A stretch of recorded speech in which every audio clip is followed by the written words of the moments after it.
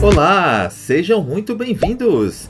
Eu sou Josias, especialista em adubação orgânica para floração, e você está no canal Loucos das Plantas.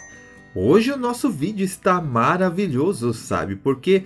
Porque vai envolver muita adubação orgânica e floração e crescimento de todas as suas plantas.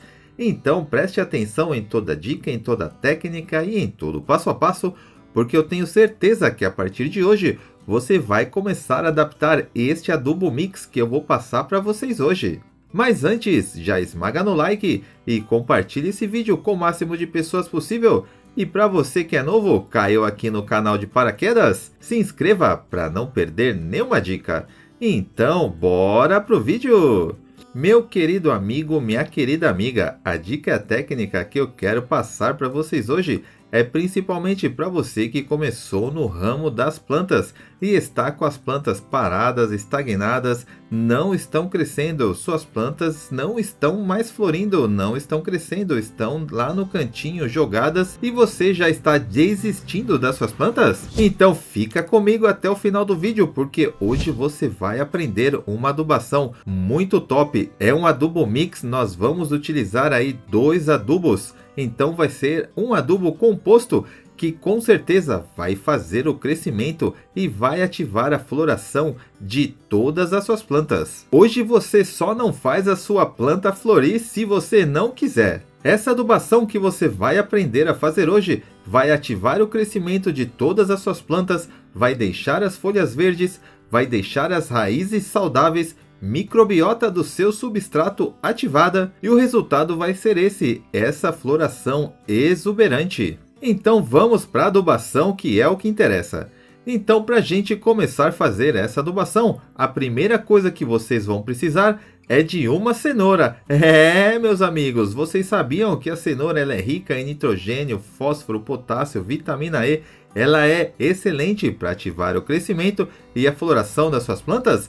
Não! Pois é, então, para começar a fazer esse adubo, a primeira coisa que vocês vão precisar é de uma cenoura. Não precisa ser uma cenoura grande nem uma pequena, uma cenoura média. Aí você já pega aí um liquidificador, você vai partir essa cenoura, vai colocar no liquidificador. Outra arma secreta que a gente vai utilizar para as nossas plantas é canela. Isso mesmo, canela. Você sabia que canela ela é excelente também para fazer floração crescimento de planta e ela tem uma outra vantagem: ela vai espantar as pragas das suas plantas. Inclusive caramujos, lesmas, mosquitos, pulgões. Realmente a canela é excelente para todas as suas plantas. Aí você vai colocar uma colher pequena assim, ó, da canela também no liquidificador. E agora você vai acrescentar um litro de água. E agora a gente vai bater por aproximadamente 2 minutos. Bom, então pronto, depois que você bateu, Agora você já traz um outro recipiente e uma peneira, porque a gente vai peneirar, pois vamos utilizar apenas a parte líquida. Bom, então depois que peneirou, agora é muito simples, basta você utilizar em todas as suas plantas, inclusive cactos, suculentas, orquídeas.